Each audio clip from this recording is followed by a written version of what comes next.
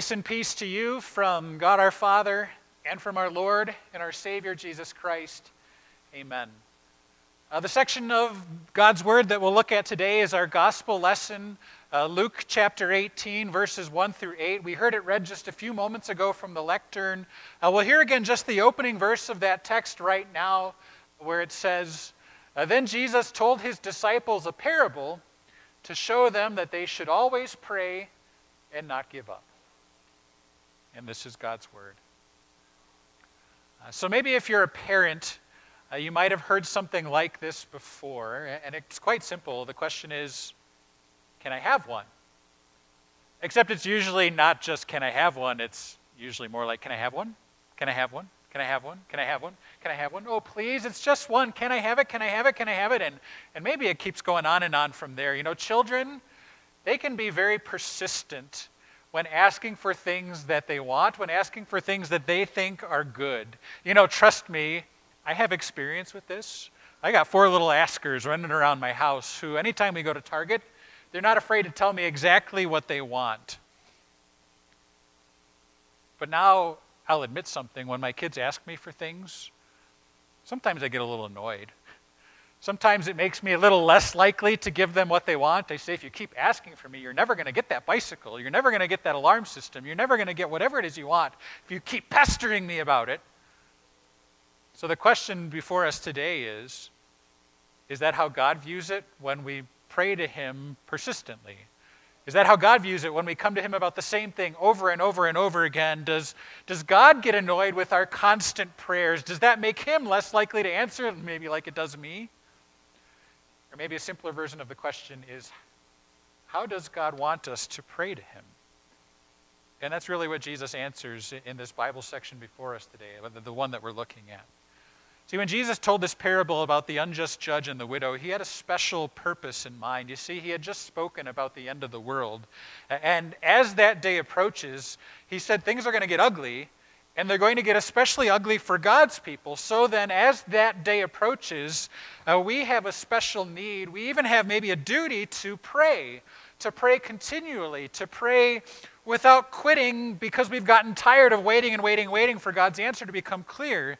Yes, many times because of the increase in wickedness and evil in the world, it might seem to us it might seem to God's people that He's uninterested in what's going on in our lives. We might even think that He's deaf to our prayers. But with this parable, Jesus wants us to know that in spite of how things might appear, that first of all, He does hear our prayers. He is indeed coming back again. And not only that, He is interested in our day to day welfare and life, and that finally He does eventually answer all of our prayers. So let's take a closer look at the parable. There are two main characters in it. We have a judge and a widow. Now, in those days, widows societally were for the most part powerless. It was a society that was male dominated. That's just the way that it was, as much as maybe our modern sensibilities don't like that idea, that, that's just how it was. And then you had a judge. Now, normally you'd think that a judge would be regarded as a good man, an upright man, an honest man, one who should be looked up to, one who should be respected, but then we have this judge who was kind of the opposite. He was actually a doubly bad judge because, as Jesus said, he neither feared God nor cared what people thought. And so this judge stood in stark contrast to the way that judges among God's people were supposed to be. See, judges among God's people were supposed to be God's representatives, which meant that they were to deal with people according to justice and equality. They weren't supposed to play favorites, they were supposed to be concerned for the plight of the weak and the powerless. But this judge, he refused to show a single concern in his work about honoring God, about serving his fellow people, or about protecting the weak and the defenseless in his society. And yet, that's the judge who this helpless widow had to go to when she was under legal, pre- under legal pressure. Her only protection was the laws of the land. So she comes to this judge again and, ag- again and again and again with a simple plea give me justice against my adversary. Now, because she was a widow, uh, she didn't have any extra money that you know might have greased the wheels a little bit to get this judge to hear her case a little more quickly.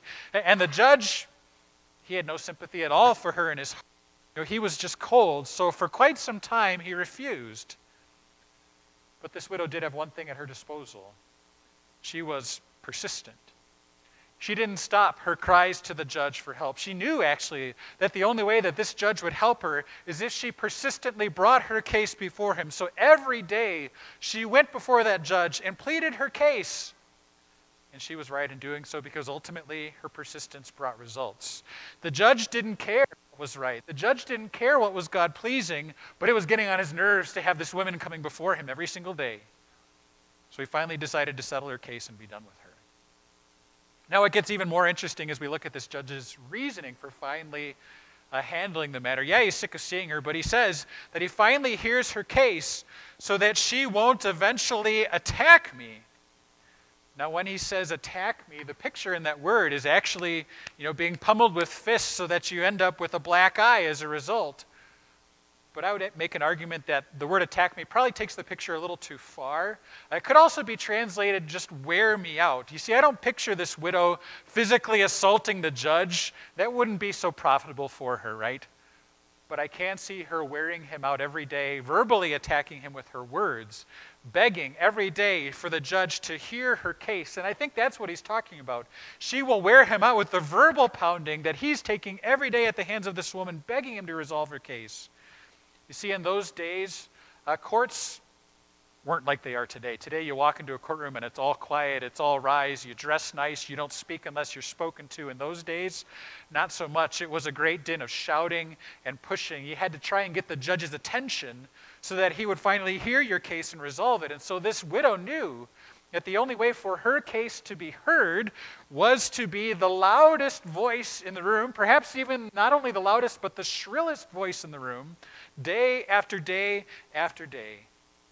So finally, after days or maybe weeks or even months of that, the judge finally hears her. He solves her case, but only because of how it'll benefit him. His only interest is his own peace of mind, his own comfort, not hers. So then, what do you have in this parable? You have a judge who is wicked, who is evil, who is unrighteous, who is unjust. And what does he do? He finally ends up doing what is right. And why? Simply because this widow was persistent in asking for justice. So, with all that in mind, I'd like you to notice the contrast that Jesus sets up with this parable. We have the judge on one side, he's completely unrighteous, completely evil. But then who do we pray to? We have God, who is completely righteous, completely good, completely holy, completely faithful. The judge, he has no interest at all in, in the welfare of this widow, but our Heavenly Father, he has a genuine interest in his chosen ones, you know, the people, you and I, that he bought with the blood of his own son. The judge has zero relationship with this widow, but God's people share an amazing blessing of fellowship with our Creator. So, the application that Jesus makes from this is quite striking. If a wicked, unjust judge like this one will do justice for a widow just because she's persistent, how much more then can you and I expect our Heavenly Father to answer our prayers when we always pray to Him without giving up? Jesus concludes, he says, Will not God bring justice for his chosen ones who cry out to him day and night? Will he keep putting them off? The answer to that is, of course he won't keep putting them off. Of course he will answer. Of course he will bring deliverance for his people, and he'll bring it when the time is right. So we can always pray and never give up in praying. Yes, we can be persistent in our prayers. Yet, as I think of my own prayer life and the words that I would use to describe it, maybe one of the last words that I would pick is persistent. Um, as much as I want to, as much as I try, uh, though I desire to pray about certain things and certain people in certain situations, I will readily admit I forget. Um, might have to do with the four little distractions running around my house all the time. It's probably my fault too. My mind will wander. I'll find myself talking to God once, twice, maybe three times about something, and then it kind of slips my mind. Would you say that you have a lot of the same struggles that I do when it comes to prayer? Do you struggle to make a, a, regular habit out of it, out of praying for the people in your life and such? Do you struggle to keep coming back to God uh, for help with this or that temptation that you really need deliverance from? Do you often fail to keep asking God to remove this or that evil from your life or to strengthen you to, steer, to stand through that evil? Do you get tired of asking when the answer doesn't come right away? Do the words, Come, Lord Jesus, uh, just seem a little stale every time you see a tragedy or a disaster in this world? You know, I don't think I'm wrong to say that praying with persistence is probably a struggle for most all of us. We're not persistent in prayer. We don't follow Jesus' direction to always pray and not give up. But one thing this parable does is it helps us understand something. It helps us understand why.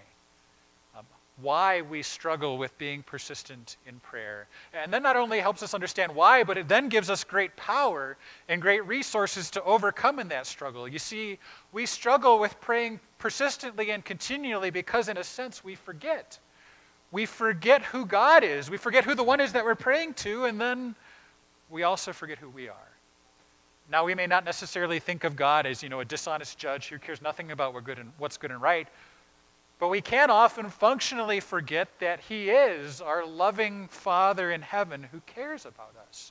And let me give you an example of how this shows. Um, I know that for me, when it comes to friends and family who live far away, I will readily admit to being pretty horrible at keeping in touch with them.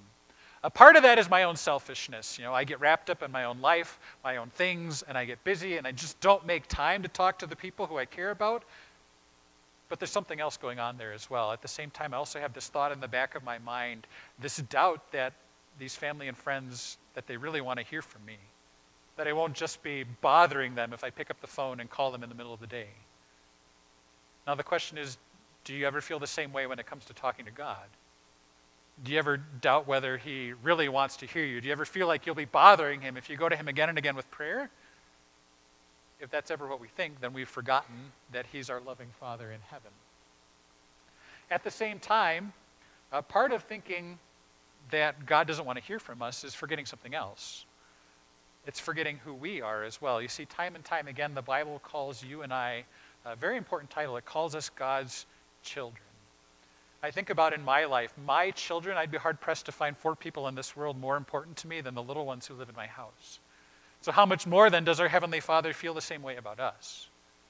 Yet we often think, speak, and act as though we're unimportant to Him.